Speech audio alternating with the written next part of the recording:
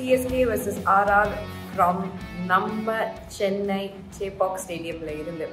இன்னைக்கு ரெண்டு டீமுக்குமே ரொம்ப எக்ஸைட்டிங்கான ஒரு மேட்சாக தான் இருக்கும்.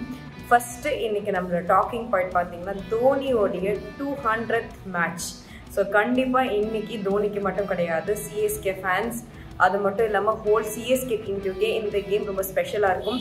And the kind of legend அவருக்கு இந்த கேமை அவங்க அவருக்காக வின் பண்ணி கொடுக்கணும்னு எல்லாருக்குமே கண்டிப்பாக இருக்கும். எஸ் இது ஒரு பக்கம் இருக்கு.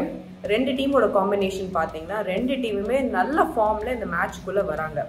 ஒரு பக்கம் சிஎஸ்கேவுடைய பேட்டிங் லாஸ்ட் மேட்ச் நம்ம பார்த்தோம். ஸ்டார் பர்ஃபார்மராக அஜிங்கிய ரஹானே இருந்திருக்காரு. அண்ட் மிஸ்டர் கன்சிஸ்டண்ட்டாக ருத்ராஜ் கைக்வாட் இருந்துகிட்டே இருக்காரு. ஸோ இந்த வகையில் இவங்க ரெண்டு பேருமே இந்த பர்டிகுலர் கேமில் நல்லா பர்ஃபார்ம் பண்ணுன்றது ரொம்ப முக்கியம். ஏன்னா ராஜஸ்தான் ராயல்ஸோடைய போலிங் லைனப் அந்த அளவுக்கு ஸ்ட்ராங்காக இருக்குது ஒரு பக்கம் ஹோம்பாயான R Ashwin விளையாடுறாரு and also spin duo Ashwin and Yuzvendra Chahal இருக்காரு. பட் இவங்கெல்லாம் தாண்டி ஒரு ஸ்டார் பர்ஃபார்மர் ராஜஸ்தான் ராயல்ஸுக்கு அவங்களோட போலிங்கில் பார்த்தீங்கன்னா ட்ரெண்ட் போல்ட் பவர் பிளேயில் பயங்கர இம்பாக்ட்ஃபுல்லாக விக்கெட் டேக்கிங் போலராக இருந்திருக்காரு.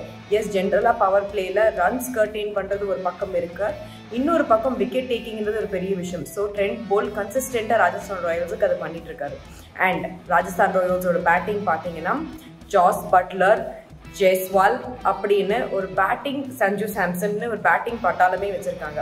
ஸோ இந்த கேம் கண்டிப்பாக சிஎஸ்கேக்கு ஒரு சேலஞ்சிங்கான ஒரு கேமாக தான் இருக்க போகுது. பட் சிஎஸ்கே அவங்களுடைய ஹோம் ஆன நம்மளுடைய சிப்பாக் ஸ்டேடியமில் விளையாடும் போது எப்போவுமே அவங்களுக்கு அந்த அட்வான்டேஜ் இருக்குது க்ரௌட் சப்போர்ட் இருக்க போகுது.